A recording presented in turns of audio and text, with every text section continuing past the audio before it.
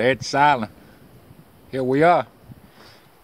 This right here, what you see around us, used to be a sacramental area for the natives.